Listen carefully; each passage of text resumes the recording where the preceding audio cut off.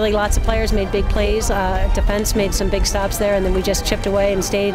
We really stayed composed throughout the course of the game, and that was something that we really needed to see.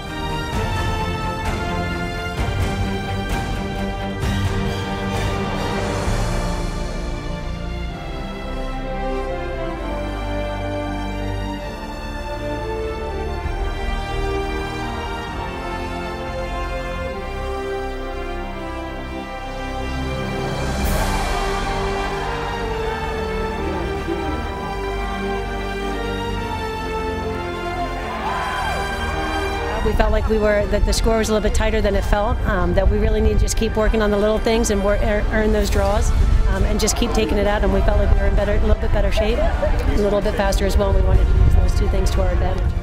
You know, we were on a run, and we one of the things we've emphasized is you know you just have to keep that run going. And if, if we break, you can't let them go back and score a goal. So we just had to make sure that we were always scoring